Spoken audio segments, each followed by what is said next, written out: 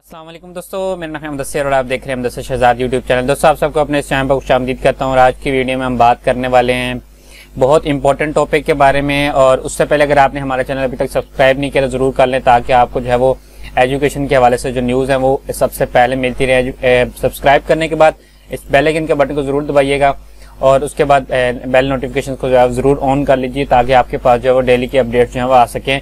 और यहाँ पर आल पर क्लिक कर दीजिएगा ताकि आपके पास रोज़ाना अपडेट्स में हमारी आती नहीं क्योंकि हम एजुकेशन के हवाले से काफ़ी ज़्यादा वीडियो जो है रोज़ाना बनाते रहते हैं। तो चलते हैं अपनी वीडियो की तरफ़ और आपको मैं बताता हूँ कि आज जो है हमारे पास क्या न्यूज़ है।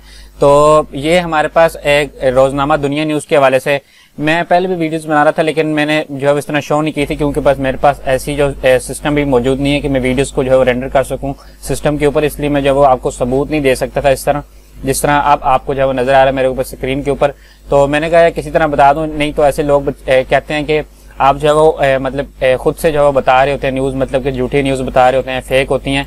तो भाई मैं ए, जो है वो मतलब करने से पहले पहले उसकी तहकीक करता हूँ उसके पहले उसके बाद जो मैं आपके न्यूज़ शेयर करता हूँ ताकि आपको जब कोई भी परेशानी का सामना ना हो। तो आज की हमारी जो न्यूज़ है वो है दसवीं और बारहवीं के इम्तहान जुलाई में लिए जाएँ। माहिर तालीम ने जो है वो कहा है कि दसवीं और बारहवीं के इम्तहान जो है वो आप जुलाई में लें, क्योंकि उसमें जो है एडमिशन में काफ़ी ज़्यादा मसला होता है।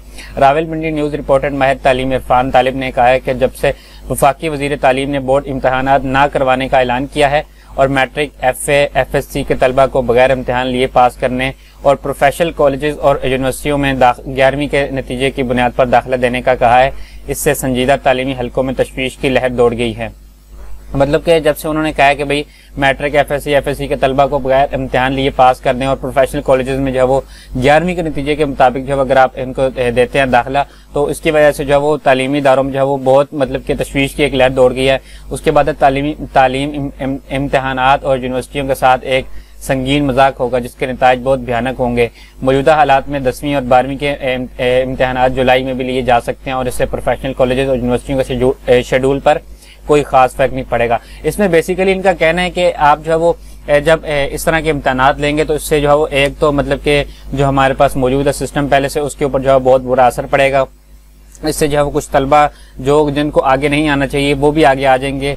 बेसिकली उनके कहने का ये मतलब है, और उनके जो प्रोफेशनल कॉलेजेस हैं, उनके ऊपर जो है बहुत बुरा जो है वो एक असर पड़ेगा, क्योंकि आपको पता है जब इस तरह के प्रमोट किया जाएगा तो उसके नंबर वगैरह दिए जाएँगे। तो इस हवाले से बहुत ज़्यादा परेशान है। माहिर तालीम यही कह रहे हैं कि दसवीं और बारहवीं के इम्तहान जुलाई में लिए जाए। अब ये जो है वो इसका हुकूमत जो है वो किस तरह इसको लेती है, इसका जो हमारे पास बेसिकली अभी तक कोई मतलब कि ठोस सबूत इस तरह का नहीं आया। अगर पहले बात की जा रही थी कि इसको प्रमोट कर देंगे और प्रमोट करने के बहुत ज़्यादा चांसेस हैं कि आपको जो प्रमोट कर दिया जाएगा। ये जो न्यूज़ है, ये आज की न्यूज़ है, बिल्कुल मतलब कि लेटेस्ट न्यूज़ इसको आप कह सकते हैं वो है और इसमें जो है हमारे तालीम ने जो वो दी थी एक राय।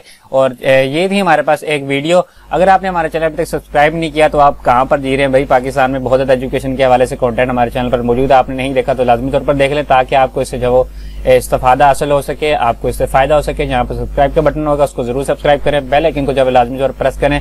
मिलता है फिर नहीं किसी अच्छी सी वीडियो में आपसे। तब तक के लिए इजाज़त दीजिएगा। अल्लाह हाफिज़।